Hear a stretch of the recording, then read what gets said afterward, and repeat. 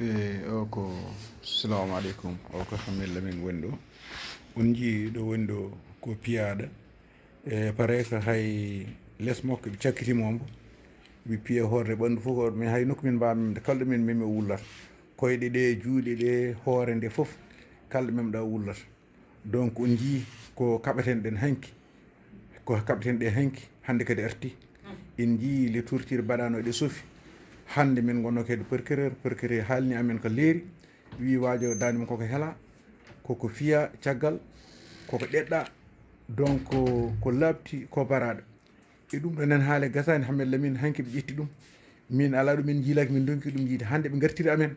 Minen mbawi wiide ko maaɗi woni ɗo par ce que ɗo ɓe gartirimo ɗo ina wayno hande ɗo woni kanke hoore makko e ko pertude connaissance par ce que anda haydara o wawa yimɓe ga normal. Donc gandon kadi ɗum ɗo enen hen. Kono noon inchallah rabbi enen les droit de l'homis hargue koko jokki en jogorani accirnete inchallah kadi kala ko woni haqqe men men mbaɗa hen. Mamin ƴetti inchallah filiation mabɓe normal kamɓe gañi e foof mamin nenduɓe inchallah admissi international. E yoɓe continue noon ndol ndolago mabɓe kono allah ko kañum jogui doole. Mm. Inchallahu rabbi donc ɗo woni ɗo on jii ko ndeysan oɗo ko woni ko debbo woni ɗo on jii ko la famille woni ɗo. Donc vraiment c'est triste. On jii woni o wawa hay haalde ƴeewe hammella men ganduɗo hammille men ƴeew hammille men no wayi ƴeew ɗum ɗo hannde. Ganduɗo hammille men ɗin ƴeew heɗa ƴeew ɗum ɗo ƴeew ɗum ɗo. Allah jarama on jarama